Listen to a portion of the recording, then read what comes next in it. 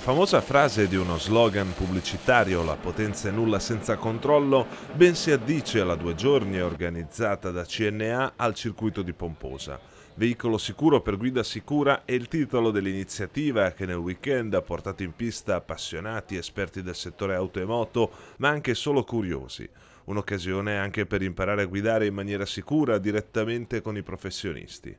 Stiamo lavorando un po' su quella che è l'impostazione di, di guida, sulla seduta, sull'impugnatura del volante, poi sulla lettura della strada, quindi guardare molto avanti, non guardare i primi metri davanti alla vettura e di conseguenza poi lavoriamo nella seconda fase della parte pratica su quello che è tutto il comportamento dinamico della nostra auto. Questo per prevenire tutte quelle varie situazioni di emergenza che ci capitano nella, nella guida di tutti i giorni. La sicurezza stradale passa in buona parte anche dalla lettura della situazione, degli ostacoli, delle mosse altrui, ma che a volte possono essere imprevisti e quando si è in moto bisogna stare ancora più attenti. Il problema è di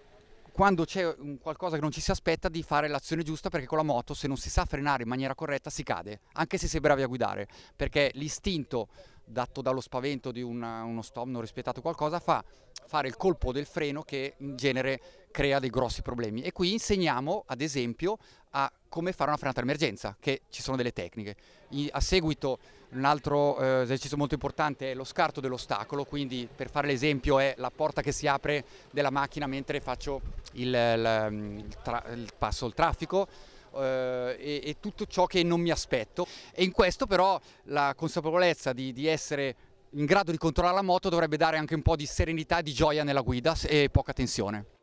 Abbiamo creato questo evento che si è basato sulla giornata del sabato, appunto abbiamo svolto un seminario importantissimo per quanto riguarda tutta la categoria degli autoriparatori. Il significato di questi eh, due giorni è promuovere la sicurezza stradale, sicurezza stradale che si ottiene appunto avendo delle buone infrastrutture, si ottiene avendo un atteggiamento prudente alla guida, ma soprattutto per noi, per tutte le nostre imprese di autoriparazione, si ottiene avendo un veicolo sicuro sicuro e quindi riparato e messo a norma da imprese certificate e qualificate. Diversi gli espositori e i professionisti del settore che in questa due giorni si sono incontrati, perché il mondo dei motori ha sempre più bisogno di professionalità imposta dall'avanzare della tecnologia dentro le auto e nelle moto. Tutti noi artigiani è chiaro che siamo nati con una manualità che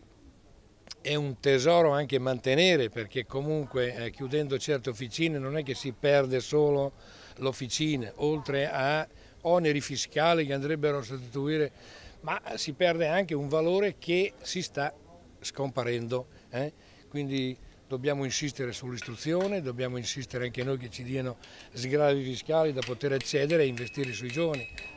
perché abbiamo un territorio molto, molto anziano e la scomparsa di tutte queste attività non è una bella cosa.